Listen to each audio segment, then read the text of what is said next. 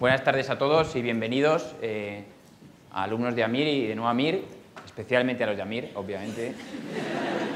Y sobre todo a la gente que hacéis el esfuerzo de venir desde fuera de Madrid, que yo sé que, es un esfuerzo para vosotros, pero que es muy importante, aunque no sea Madrid el sitio donde vais a escoger la especialidad, que visitéis hospitales, que aprovechéis estos días, eh, mañana si en algún ratito, pues este mismo hospital, que tiene pues muchas especialidades buenas que se pueden hacer aquí, verlas y compararlas con el hospital donde tú lo quieres hacer, sea el que sea, para que cuando tú vayas a visitar un hospital te digan, eh, es bueno, como vais de dos en dos muchas veces, o de tres en tres, es muy bueno, pues por ejemplo, en este hospital, si vienes a visitar cardio, pues que yo te diga, oye, ¿qué piensas de neuro en este hospital? Y yo te diga, joder, los neurólogos de este hospital son unos fuera de serie. La verdad que te echan un montón de manos en las guardias, da gusto, los llamas, vienen corriendo. Es decir, ver eh, cómo se comporta ese servicio y el valor que tiene ese servicio para otros, porque hay veces que no dan una información ob- objetiva fina los propios del propio servicio porque se creen que lo hacen muy bien, pero lo cierto es que los neurólogos de este hospital pues lo hacen francamente bien como otros servicios, pero te lo puede decir pues gente que está en el día a día y que hace guardias. Y también está muy bien que te diga pues gente de, de, de tu- de donde te quieres quedar. Por ejemplo, pues quiero hacer cardio en Andalucía. Pues pues quizás el mejor sitio para hacer cardio en Andalucía es el Macarena, y te lo diría así, en Sevilla. Eh, o si pudiera elegir el mejor, ¿no? Porque es el único que tiene una unidad coronaria muy potente, llevada por cardiólogos, y te diría que esto es muy importante a día de hoy en la formación de un cardiólogo, eh, que lleve pacientes agudos. Y es posible que en el Virgen del Rocío, que es un hospital gigante de Sevilla, que también está muy bien, pues no te den eh, esta información tan, tan fidedigna como te lo pueden dar en otra ciudad donde están acostumbrados a llevar unidades coronarias. De manera que es importante que preguntéis en otros hospitales sobre la especialidad que vais a coger y dentro del hospital donde vais a coger qué piensan de, de esa especialidad otros, otros residentes de otros, de otros servicios. Bueno, hay, hay tres especialidades que tenéis que tener todos en la cabeza. Tres. Tres y que son muy, muy, muy desconocidas en general en los programas de grado. Y son anestesiología, medicina intensiva y radiología. Estas tres, todos tenéis que ver las charlas de esto, porque no son especialidades así que de entrada pues te creas que molan mucho, que tengan un interés porque no hay una asignatura como tal, pero son, son disciplinas médicas las tres que son un pilar fundamental en el hospital. Un pilar, de verdad. Tanto medicina intensiva como anestesia y rayos. Eh, el radiólogo, ¿pierdo contacto con el paciente? Depende. El radiólogo hace un proceso asistencial súper importante en los pacientes. El radiólogo es el que corta el bacalao en las guardias. Y un buen radiólogo, tener un buen radiólogo en el hospital puede marcar perfectamente el pronóstico de un paciente, de manera que se puede intervenir sobre un paciente de distintas maneras, no necesariamente con una, con una, profe- con una especialidad puramente asistencial. Y os animaría a que vierais todas las charlas posibles. Es muy frecuente ver aquí pues, que eh, solamente la gente vaya a la charla que le interesa. Precisamente estas charlas, quizá el mayor interés que tengan es ir a ver lo que de entrada no sospechabas que nunca te hubiera gustado. Porque aquí hay mucha gente que redescubre especialidades nunca barajadas hasta entonces, por lo bien que lo cuentan, cómo estructura el programa, cómo es de adecuada su día a día. De manera que yo os animo a ver el mayor número de charlas posibles. Voy a hablar brevemente, eh, bien, sobre eh, una cosa que, es, que puede suceder y es eh, pues algo que, que suele agobiar. Hay un número determinado a partir del cual tengo que plantearme repetir el examen MIR. No lo hay. No hay un número determinado a partir del cual repetir el examen MIR. Ahora bien, hay gente que tiene que tener claro que al final la lección puede bailar y que al final el número es eso, un número, y que en función de cómo vaya la lección ese año, pues puede haber más suerte o menos suerte. Yo tuve una alumna que había estudiado todo lo que llevaba dentro, absolutamente todo lo que llevaba dentro. Es una compañera de, pro- de promoción de AIDA, de la primera promoción que estudió todo lo que tenía, todo lo que tenía, y sacó un eh, 3.800 en el examen MIR. Y le dio, y bueno, eh, la única plaza que le quedaba, ella era una quirúrgica pura, quería hacer cirugía, y quería claramente hacer una cirugía, y le quedaba cirugía vascular en Burgos. Y dijo, no eh, voy a repetir porque Burgos no es una ciudad que ni yo haya barajado, ni me apetece, ni es así muy apetecible de entrada a Burgos porque hace un frío que te cagas, más que en Madrid, pero no apetece. Entonces repitió el examen otra vez, dio todo un año más en el examen MIR y sacó un 3.800. Y cogió cirugía vascular en Burgos. No es broma. De hecho, os va a dar la charla de cirugía vascular, ¿no, Aida? ¿Eh? ¿Cómo que otra charla? Vale. Ah. Bueno, viene a dar una charla. Es la que manda. En todos lados, en todos lados.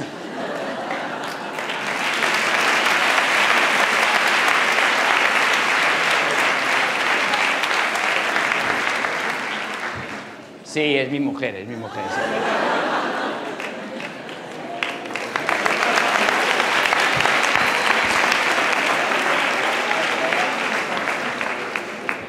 Sí, surgió así, como las películas, como las películas.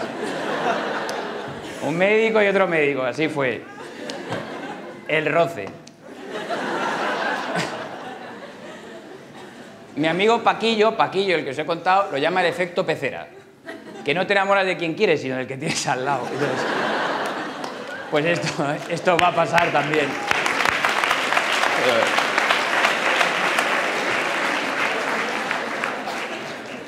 Bueno, centrándonos, un número para repetir el examen lo digo porque hay gente... eh,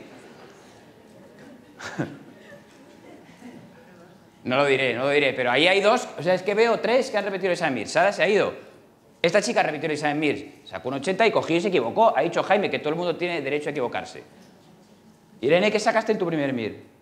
50. Y repitió el MIR y un 100. O sea, que, que puedes empeorar un pelín haciendo un MIR bueno.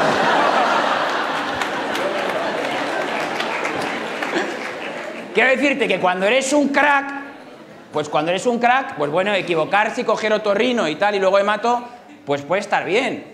Sara, eh, Sara, ¿dónde está Sara? Sara también se equivocó con la quirúrgica. Sara cogió máxilo, ¿dónde está? Y luego resulta que se ha escondido. Sabía porque sabía. Sara cogió máxilo y luego pues repitió el MIR y sacó un 500 y luego un 100 y cogió anestesia. Lo siento, Pablo, eres mi amigo y lo siento. Pablo está ahí en la puerta.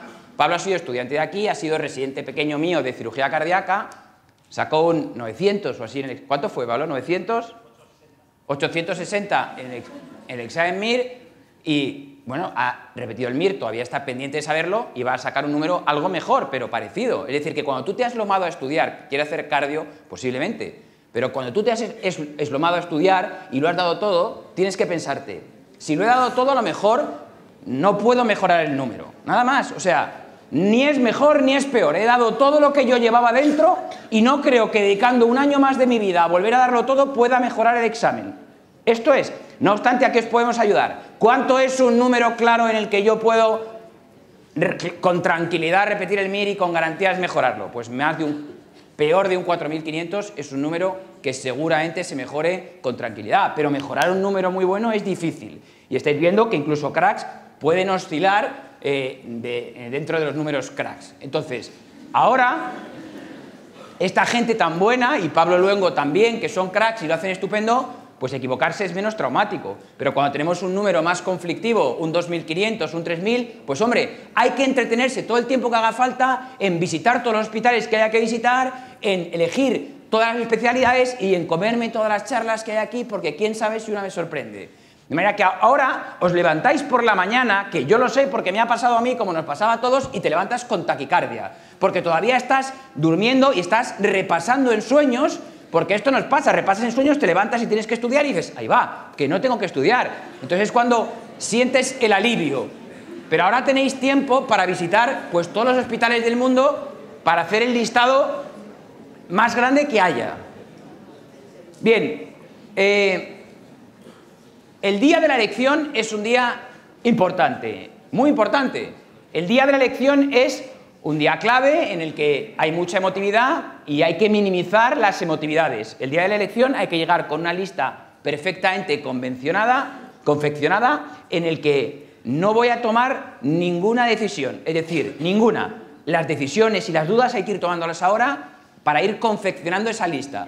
Pero en el momento en el que estas charlas van a orientar sobre cómo confeccionar esa lista y cosas eh, de las especialidades a tener en cuenta, el día que yo la confecciono, el día de la elección de plaza, no tengo que tomar ninguna decisión, ninguna, ninguna. Es decir, el día de la elección es en el Ministerio de Sanidad, en Paseo del Prado, enfrente del Museo del Prado, se entra por una puertita lateral os convocarán. Ahora hay una serie de, días de elección de plaza. Generalmente suelen empezar a, elegir los radiofísicos, la gente que hace el, examen de sus especialidades el mismo día que el examen miro, las enfermeras, te asignan un día de elección.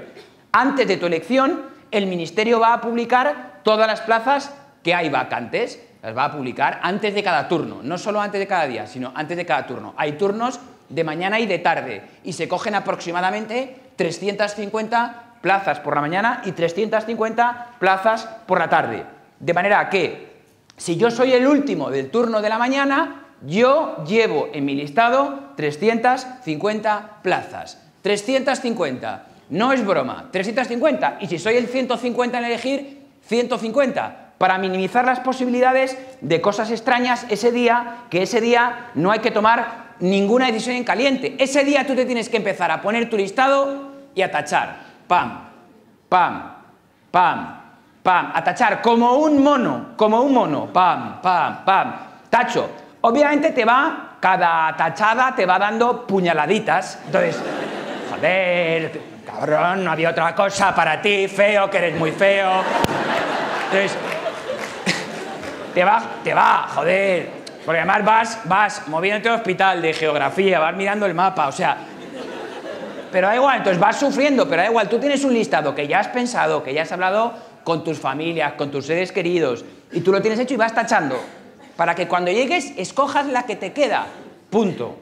Porque si no, si no pasan cosas extrañas, como la que ha contado Jaime, de la tía que te llama, de cojo oftalmología en Jerez de la Frontera o cojo otra cosa. Porque esta es una vida habitual de coger la oftalmología en un hospital peor o coger digestivo en un sitio más chachi. No, especialidad, siempre especialidad. Lo primero, aunque sea moviéndote de ciudad. ¿Por qué esto pasa? Porque hay dos tipos, hay dos cosas que son frecuentes en el examen MIR. Dos. Una es la numeritis. La numeritis es, joder, si es que tengo un 200, pero ¿cómo con un 200 voy a hacer medicina de atención primaria, que es lo que siempre he querido y lo que he llevado dentro de mi corazón desde que nací. ¿Cómo voy a hacer eso? ¿Cómo voy a hacer eso? ¿Cómo voy a desperdiciar este número? Cardio, cardio, mucho más guay, que mola mucho más, que queda súper bien decir que eres cardiólogo, que mola un huevo. Eso se llama numeritis. Eso casi siempre es fracaso, casi siempre. Hay grandes, grandes exponentes, grandes, grandísimos de mucha gente que coge cardio por tener eh, un número que cree demasiado bueno para desperdiciar. Que esto es un número, señoras y señores, que es un número que gradúa, punto, para una especialidad, la que fuere. ¿Que hay especialidades que se acaban antes? Pues puede ser, porque a lo mejor a la población médica les, le parecen más sugerentes esas especialidades, pero no es mi caso particular. Yo en estas jornadas hemos visto hablar a gente de todo tipo, de todos los colores, anatomopatólogos que son felices de la vida, que han podido elegir y que han cogido otra cosa, de manera que coged lo que siempre habéis tenido en vuestra cabeza como posibilidad, no porque tenga un número muy bueno, pues arriesgarme, porque es un riesgo, de verdad. Es generalmente un riesgo coger algo no valorado. Y luego está la antinumeritis. Y la antinumeritis es una cosa que también hay que tener en cuenta.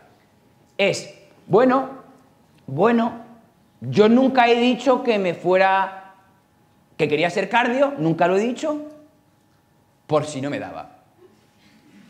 Y no pasa nada, es súper lógico y es súper normal. Esto sí que pasa, pero hay que ser sincero con uno mismo, contigo mismo. Es decir, realmente no lo he dicho por, porque, por si acaso, porque es normal, joder. Todo el mundo, pues, eh, dices, joder, es que si quiero hacer cardio al final no me dan, eh, es como que eh, es un fracaso. Que en mi, en mi familia, en mi casa, van a decir, joder, qué pena que no te ha dado, es tu segunda opción, qué pena. Porque para vuestras familias y para todos, y para mí, todos sois unos cracks, no lo dudéis. Claro que lo sois, pero estamos en un espectro de todo cracks que hay que ordenar, punto. Entonces, estamos ordenando cracks, ya está. Entonces, cuando ordenas cracks, puede que haya cracks que han sacado mejor nota y que le dé. Entonces, esto tiene que ser una cosa sincera, individual, sincera, en el que uno tiene que hacer esa reflexión de realmente si lo tenía oculto para no decirlo, realmente eh, no, no me ha gustado nunca la cardio, de hecho nunca me ha parecido una especialidad interesante. En general, y esto es muy importante, aunque nos metamos con los oftalmólogos, ante la duda, son mejores las especialidades médico-quirúrgicas, ante la duda. Es decir, son más, socorridas, son más versátiles, permiten un poquito de cirugía, un poquito de menos cirugía, derma, oftalmo, máxilo, gine, obstetricia. Las cirugías son especialidades que es como el sacerdocio, tenéis que saberlo. O sea, sacerdocio, que te tiene que encantar el quirófano, una absoluta vocación a estar horas y horas en el, en el quirófano, perdiendo todo el tiempo del mundo ahí, operando y estar ahí, y el paciente que ni hable. Y si ladra, mejor. Es decir, no, porque es el quirófano, o sea, te tiene que apasionar el quirófano. Lo digo porque nosotros, todos los que ya tenemos más edad, pues hemos visto pues gente frustrarse en las cirugías por el agobio del quirófano, porque quería más trato con el paciente, porque eran más humanísticos. Esto lo tenéis que saber. Entonces, los más humanísticos quizá tengan que hacer especialidades pues más médicas. Las especialidades médicas son casi todas, es decir, cardio, operamos por la ingle, es una especialidad médica, esencialmente médica. A todos los que les gusten las especialidades médicas, en general, la medicina interna siempre está como posibilidad a hacer, porque nos gusta la medicina interna, las infecciosas, las patologías así integrales, y luego escoges cosas así. La medicina es más de paciente. Los pacientes también al final generan desgasto, desgaste. O sea, los pacientes, el día a día también es duro, no lo dudéis, te tiene que gustar, pero al final, pues generan también cansancio. Es decir, que hay que ir viendo las cosas. Hay gente que prefiere pues ese desgaste de no ver un paciente y otro paciente y otro paciente en la consulta muchas veces y prefiere hacer especialidades quirúrgicas, pero el quirófano es duro. Entonces, médico-quirúrgicas suelen ser más versátiles y más socorridas. Tenedlas en la cabeza porque hay que ver estas charlas para tenerlas en mi listado. El listado de verdad no es broma. 350 plazas, si se cogen 350 ese día y yo soy el 350. Cuando vais a la elección de plaza, entráis por una puertita lateral, que es muy fácil porque va todo el mundo, hay que entrar con el DNI nada más, o el pasaporte, un documento, te llaman y entras. Entráis y es una sala parecida a esta, muy parecida a esta, tiene eh, eh, otro piso arriba y es una sala así. El primer día pues van ahí eh, personalidades del ministerio, generalmente el ministro o la ministra, y dan un discurso, ya luego se cansan y no van más. Van solo el primer día a saludar. Entonces, bueno, ese día suelen dejar tener los móviles, la gente está ahí pues whatsappeando, pero es que no hay que llevar el móvil, no hay que whatsappear, no hay que preguntar a nadie que qué te parece oftalmología en Jerez, porque ese día llevo un listado en el que voy tachando y hemos dicho que si yo llevara yo un mono lo haría igual que yo. Tacho, tacho, tacho, porque esto es peligrosísimo.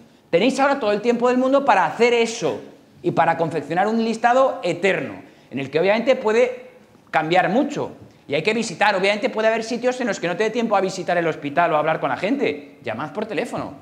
Llamad, escribir un email, si tienen jornadas de puertas abiertas, naturalmente ir. Dice mucho de un hospital que tiene jornadas de puertas abiertas, naturalmente. Dice mucho de un hospital que te diga unos minutos enseñártelo por muy hasta, hasta arriba que esté. Dice mucho de esa persona al menos y de que tiene intención. Entonces, dedicarle tiempo y a donde no lleguéis, llamad. Es posible que no podáis ir a todos los sitios de España.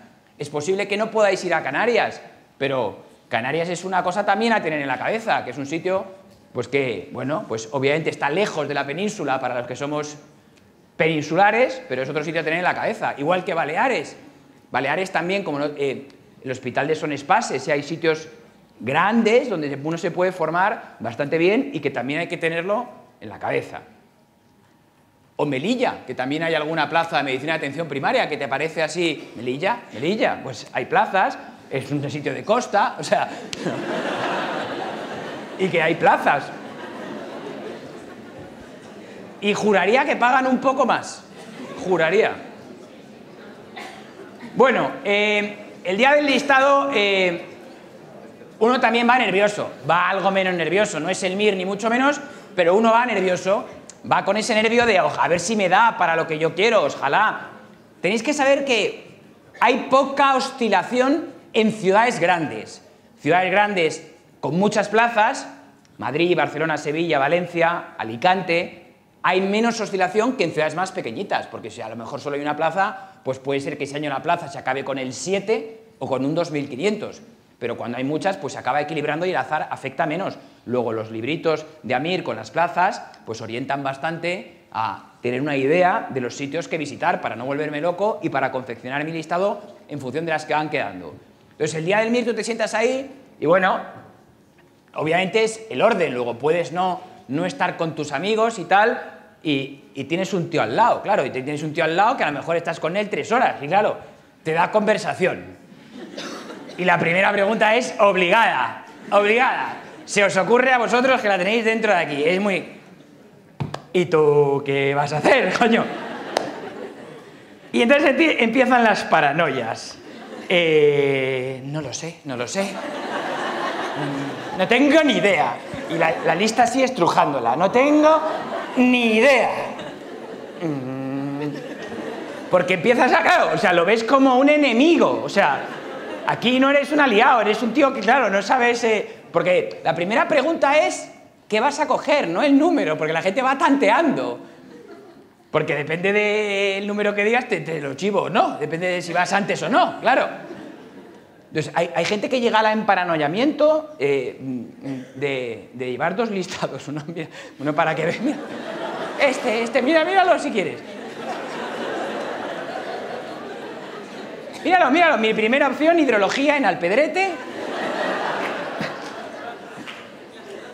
Pero no pasa nada, o sea, es normal, todo estáis nerviosos, pero no os pongáis paranoicos. Entonces ahí llevas el listado y vas tachando. Hay varias eh, bulos al respecto de la elección. El efecto 1. El efecto 1. El efecto 1 es que lo que coge el 1 se acaba siempre antes. No. No. Eh, obviamente no. Yo he visto al 1 coger hemato y hemato se acabó donde siempre. Yo he visto al 1 coger psiquiatría y psiquiatría se acabó donde siempre. Lo que pasa es que pues, esta gente suele al final pues, coger especialidades a veces pues, más caras, entre comillas, porque pueden escoger entre las especialidades más caras y cogen cardio, pedia, cirugía cardíaca. El efecto 1 no es real, se suele acabar siempre exactamente igual. Bueno, el día de la elección, tachando, tachando, tachando, tachando, tachando, no, no, no, no, y cuando llego, escojo, punto. Obviamente puede ser un tiempo y a lo mejor hay que salir al baño o porque pueden ser horas, entonces es conveniente, pues si estáis con algún amigo, que os cubran un poco para ir tachando cuando tú no estás, porque siguen cantando, es decir, ahí no paran, que voy al baño, es decir, porque claro, están, tienen que coger van, desfilan por ahí cerca de 9.000 personas, eh, de médicos, eh, etcétera, enfermeras, o sea, que están un poco pues, colapsados y van con velocidad. Llaman de 10 en 10. Entonces te llaman, te llaman y tú pasas ahí, es un sitio igual que este, y pasas aquí. Te llaman de 10 en 10 y tú llegas aquí y es, hay un atril exactamente igual que este, y aquí hay unos primeros ordenadores en los que tú estás aquí y consultas y dices, eh, ¿qué queda, por si acaso, para confirmar que tu listado está bien y has tachado bien y no se te ha pasado nada? Confirmo. ¿Qué queda de reumatología en España? Y te lo dice. O, ¿qué queda reumatología en el Hospital Clínico San Carlos? Y te lo dice. O, ¿qué queda en Madrid? Si finalmente tengo buena versatilidad y en Madrid hay muchas cosas. ¿Qué queda en Madrid? Puedes preguntar lo que quieras. Ellos tienen y pueden capacidad de filtrar lo que quieran. Ciudad, especialidad, ciudad y especialidad y hospital, combinaciones múltiples, ¿vale?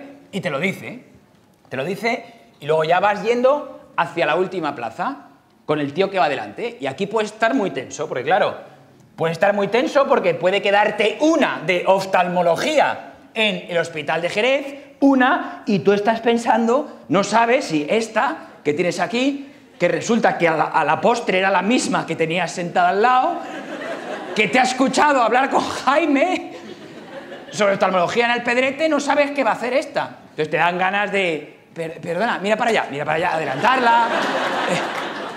Si pudieras envenenarla, la envenenarías. O sea, pasa por tu cabeza de todo en esta recta. Esta recta es la peor. En esta recta ves de todo. Si, si vas apurado, si vas agobiado de, si no vas fuerte de plazas, o sea, aquí ves tu vida pasa- pasar, el bar. Ves el barquero, dos monedas en los ojos, todo. Entonces,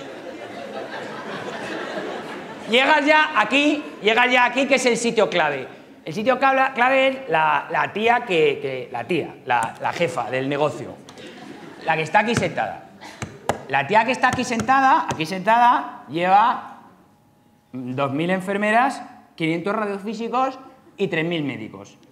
La tía que está aquí ve doble, o sea, ve doble. Entonces, la tía que está aquí no es fiable ni es la tía más simpática. ¡Hombre, qué tal! ¡Enhorabuena! ¡Majo, hombre! ¿Qué vas a coger? No, es decir, la tía está aquí en plan funcionario. O sea. Entonces, tú a esta ya le dices, yo, también soy funcionario, joder. La tía que está aquí, tú le dices, la plaza que tú quieres. Entonces, tú le dices, yo le dices aquí a ella, le dices al oído que quieres anestesiología en el hospital Gregorio Marañón, porque te ha dado, te queda una plaza, que es uno de los mejores sitios para hacer anestesiología de este país. Entonces, ella confirma que la plaza existe, que queda, y te dice, míralo. Entonces, tú lo miras y ella en ese momento te dice, dale al enter. Tú, tú. Yo no. Yo no, que a mí me da la risa. Es decir, tienes que darle tú al enter. Tú tienes que hacer ese acto de darle al enter. Es un acto personal. Entonces, tú le das al enter y ella en ese momento dice, asignada. Que nadie sabe bien, dice, asignada. Así, además, asignada. Que lo dice con una voz un poco erótica, asignada. Yo he tardado, yo he tardado 13 años de mi vida en saber lo que decía, porque yo creía que decía casi nada, ¿eh? No sé. Pero no, es asignada. Entonces, asignada es asignada, es tuya para siempre, para siempre. Entonces, hay que verlo con cuidado, porque hay errores, errores. ¿Os acordáis que yo os decía lo de que puede haber errores en la encuadernación, etcétera? Bueno, no sé, si queréis hablamos con los de Valencia de este año del examen MIR, que estaban todos mal encuadernados en Valencia, todos los exámenes MIRES. Tuvieron que ir a hacer fotocopias de la versión cero en Valencia porque se quedaron sin ellas. Estaban encuadernadas en un aula, en dos aulas, todas mal. De manera que estas cosas pasan. Y pasan que a la tía, a la tía que, que le vas a asignar, tú le dices anestesia y tú, antes de darle, no lo confirmas, estás nervioso, y ella te dice asignada. Análisis clínicos. En el Gregorio Marañón. Asignada. Asignada es que te dan el papelito. Bueno, pues nada. Pues análisis, y la verdad que no está mal, voy a ser feliz con cualquier cosa. Entonces, miradlo, dedicadle unos segundos a confirmar que está eso bien, que está en su sitio, que es lo que yo quiero, que no es otra ciudad. Hospital clínico. Es que hospital clínico puede haber en España 14. Luego despacito y dedicarle bien unos segundos a darle bien, porque cuando le da la tecla, le das. Bueno, después de la elección, después de la elección, eh, ya viene claramente, pues, y sin ninguna duda, el momento de descansar de verdad. Y esos son los, eh, el tiempo maravilloso de descanso mental absoluto. Ya está la plaza y tenéis que descansar. Tenéis que descansar de verdad. Un montón. Tenéis que aburriros soberanamente, descansar, viajar, para llegar a la hospitalidad, al, hosp- al hospital mentalmente descansado. Porque la adaptación a la especialidad es dura. No lo dudéis. La residencia, el año de R1 es, sin ningún tipo de duda, sin ninguno, el mejor momento de vuestra vida. Y así lo va a ser. Como fue el mejor momento de mi vida, como fue el mejor momento de la vida de estos chicos, porque es el, el año en el que tienes independencia económica, vas a ser un profesional respetado, vas a ser pues, una persona que además va a hospitales con un montón de gente joven, generalmente cambia tu vida, generalmente conoces a un montón de, de amigos nuevos. Si vienes a un hospital grande, pues fuera de tu ciudad, como puede ser aquí en este hospital, hay 500 residentes. Entonces es pues, un ambiente muy agradable, de gente joven. Entonces es un año muy bonito a nivel profesional y personal. Pero la adaptación a la especialidad no dudéis que es dura. O sea, las primeras guardias son durísimas, los primeros pacientes son duros, llegas a casa porque pasas de ser un estudiante a ser un médico. Un médico en formación, pero médico, con las responsabilidades y las exigencias de un médico. Que tienes que poner tratamientos a los pacientes, que tienes que firmarlo y que tienes que empezar a tomar decisiones. Progresivamente mayores, pero decisiones. Te vas a casa, te vas angustiado porque un día te equivocarás, porque nos equivocamos todos, todos, y el R1 más. Porque es R1 y es inexperto, Y un día le pones en lugar de 10 miligramos de seguril a un paciente, 100, porque se te va un cero. Generalmente, gracias a Dios, las enfermeras, que para eso están ahí, están más veteranas, detectan el error y te dicen, oye, pero hay veces que puede que no. Y tú le has puesto eso y te vas a casa angustiado, crees que has matado al paciente, no puedes dormir, te vienen, cierras los ojos y te vienen las imágenes de los pacientes, cómo estará, cómo estará, cómo estará. Y llegas al hospital otra vez a ver si el paciente está vivo o no lo has matado y el paciente no solo no está muerto, sino que está mejor. Dice, gracias, doctor, gracias. Los pacientes aguantan un montón. Los pacientes aguantan un montón, de verdad. Están hechos todos a prueba de R1. Todos. Todos son resistentes a los R1. Porque si no, ninguno estaríamos aquí. Ninguno. Entonces, tranquilos, que no pasa nada. Que todos nos equivocamos. Todos nos equivocamos. El R1 nada más es que pues tiene que tener más cuidado y sobre todo tiene que tener supervisión. Nada más. El R1 tiene que tener una supervisión. El R5 al adjunto, el adjunto le sobra ya. Y tiene que, pues, simplemente para consultas. Es muy malo de R1 tener cero supervisión y es muy malo que el R5 pues no pueda tomar decisiones independientes él solo. Es igual de malo, pero el R1, que es lo que nos ocupa ahora, tiene que estar supervisado absolutamente, prácticamente con un adjunto o un residente mayor aquí pegado al hombro y supervisando las decisiones. El R1 eh, es el año en el que más aprendes. Es el año en el que más aprendes intelectualmente.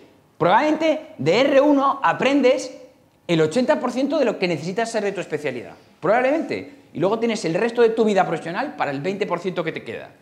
Luego es un año súper guay porque aprendes un montón, porque empiezas a manejar pacientes, porque aprendes ya a tomar decisiones progresivas, etc. El R1 tiene mentalidad MIR, algo que es muy bueno porque siempre os hemos dicho que éramos un centro de medicina, pero habéis aprendido medicina, sin duda. Todos tenemos claros que aprendes medicina y que tienes un gran conocimiento teórico. Desde que el MIR tiene pues, más imágenes, os obliga a saber imágenes, a nosotros enseñaros pruebas completarias, electro, y hace que la adaptación a la especialidad sea algo menos traumática que lo que podía ser en mi época. Pero aún así, pues seguramente os cueste explorar a un paciente bien, hacer bien historias clínicas, os cueste. De manera que, además, es súper típico, estás en la urgencia, en una guardia, y te dice un adjunto o un residente mayor, y te pone una placa, y te dice, este paciente que viene por disnea y que tiene esta placa, ¿qué crees que es? ¿Crees que es insuficiencia cardíaca o crees que es una neumonía intersticial por un germen atípico con un patrón difuso bilateral? Y tú en ese momento te quedas así y le dices que te dé tres opciones más que si no, no estás tranquilo. ¿Por qué pasa? Entonces hay que cambiar ese chip a las preguntas tipo test que os van a dar muchísima formación a lo que es la práctica habitual. Vais a saber muchísima más teoría, muchísimo más que los adjuntos de medicina, no lo dudéis, y que los R mayores. Porque esta mentalidad MIR que tenéis ahora, perversa, de asociar todo y de dominio de la medicina, va decayendo. Ya empezáis a notar alguna cosa ya empezáis a notarlo, pero el bache, al cuarto mes te demencias de manera súbita. Demencia. Al cuarto mes es el bache en el que ya se te olvida gran cantidad de la información del examen MIR. Bien, los años más peligrosos de la residencia son sin duda los años, eh, el año de R3. El año de R3 es el año en el que ya conoces todo más o menos, ya manejas casi todas las cosas más o menos suelto, pero es el año de la falsa seguridad en el año en que puedes no consultar algo que deberías haber hecho, es el año de peligro de inmadurez. Entonces, que ese año, aunque ya tienes más independencia, cuidado, porque es el año más peligroso para decisiones, para equivocarte en cosas graves. Luego ya los años de R4 y R5, pues como os he dicho, son años en los que hay que tener pues más o menos independencia en cuanto a la actividad asistencial o quirúrgica o donde fuera. Bien, no perdáis nunca, eh, no perdáis nunca eh, la amabilidad con los pacientes, no la perdáis. O sea, esa amabilidad y esa frescura que vais a tener ahora de acompañar a la abuelita al sitio eh, porque te encanta, no la perdáis nunca, que es muy fácil perderla en la vorágine de que estoy muy liado, esto es un caos, no la perdamos porque son pacientes, son pacientes, son gente que viene aquí descolocada al hospital, no sabe dónde está nada, agobiados, son familiares de pacientes malos, enfermos, entonces, somos médicos, tenemos que dar un ejemplo a esta sociedad. Ser médico no es solo para decir que guay, soy médico, salvo vidas. No, es para dar ejemplo todos los días. Todos los días. Y tenemos que recordárnoslo todos los días. Que tenemos que dar ejemplo todos los días en nuestra actitud, en nuestra conducta, en nuestra vida. Pero obviamente, desde luego, mucho más en el hospital. No lo dudéis. Hay que librar las guardias, lo ha dicho Jaime claramente. Y habrá que hacer esfuerzos sobrehumanos cuando haya que hacerlos como lo hacemos todos. Si hay que quedarse hasta las 9 un día porque está todo empantanado de la noche, pues nos quedamos hasta el tiempo que haga falta. Tenéis todos, todos tenemos una especie de conciencia aquí en la cabeza que claramente nos dice qué está bien y qué está mal. Es súper típica la imagen de que llega un paciente a las 3 y cuarto, un ingreso que llega de urgencias o que te llaman para hacer una interconsulta y son las 3 y cuarto, ya te estaba yendo y tienes la... ¿Qué hago? ¿Qué hago? Eh, ¿La veo ahora o lo veo mañana? ¿Qué hago? La respuesta es muy fácil, si es que la sabes, la respuesta la tienes dentro. O sea, simplemente párate y haz lo que está bien, haz lo correcto. Pues ves a ver al paciente, vas a ver el ingreso, obviamente todos sabemos cuál es la respuesta buena y qué es lo que tenemos que hacer. Pues no lo perdamos, no nos embrutezcamos, no nos volvamos grises, no nos volvamos poco humanos, porque eso es lo que tiene que ser un médico toda su vida, para el resto de su vida. Bien, eh,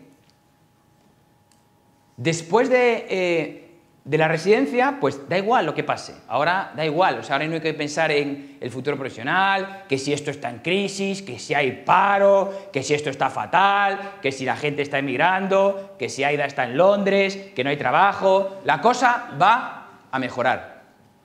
Es imposible que empeore. Imposible. Entonces, da igual, no os preocupéis ahora, no toméis decisiones ahora.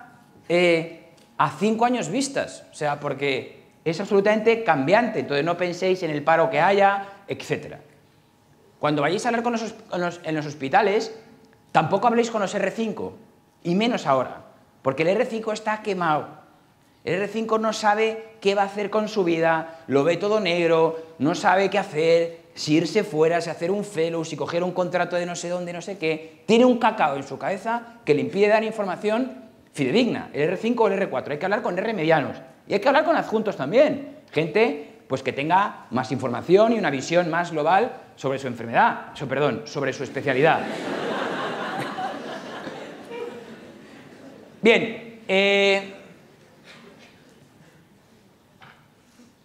ahora eh, sé que posiblemente pues esta, esto del ministerio, que es un error, pero la verdad que los tíos, es decir, han reaccionado bien, a tiempo y como se esperaba. Porque imaginemos que hubiera sido mucho peor que solo corrigen a demanda. A demanda es solo, solo los que protesten. Pues claro, tenemos aquí un lío de todos los que no lo hagan y que tienen más cinco. Entonces, bueno, yo sé que, hombre, que pues unos días más de incertidumbre es, es poco más. Las estimaciones, pues hombre, las estimaciones son lo que son, estimaciones. Se aproximan bastante a la realidad, pero son estimaciones porque luego depende mucho de los factores correctores, que son los 10 mejores exámenes, los 10 mejores expedientes, que mm, puede oscilar un poquito en función de dónde esté. Pero bueno, la, estimación, que para eso lo creamos, en su día era para que ya tuvierais más o menos una idea clara de las cosas que podríais buscar y las cosas que podríais, eh, eh, las ciudades a las que deberíais visitar. Visitad ciudades, visitad todos los hospitales, llamad, sed pesados, preguntar todo lo que haga falta, preguntar todo lo que haga falta ahora y toda vuestra vida. El residente tiene que preguntar todo siempre, siempre, siempre. Una mosca cojonera que pregunta, y esto, y esto, y esto, y esto, y esto. Alguna vez de lo que preguntes, alguna vez que preguntes algo, preguntarás una cosa que según lo estás diciendo dirás, seré tonto. Vaya gilipollez que estoy preguntando. No pasa nada. Preguntad mil veces. Tenéis que aprender preguntando. Tenéis que preguntar a vuestros adjuntos, que son los que más os van a enseñar. Tenéis que preguntar a vuestros residentes mayores, que son los que más os van a enseñar. Pero tampoco nos podemos volver soberbios. Hay que aprender de los residentes pequeños. Los residentes pequeños se enseñan toda la vida. Toda la vida. Entonces hay que aprender de abajo, de arriba, de encima, toda la vida, especialmente en el momento de vuestra vida en el que, en os encontráis, que tenéis toda la información abierta. Preguntando todo, no pasa nada. Si estamos en un hospital y estamos con otro tío al lado, preguntamos. Yo cuando tengo dudas pregunto a mi R1 o a quien esté al lado, oye, ¿a ti qué te parece? Para, bueno, para consensuar, que es lo importante del acto médico, si se puede.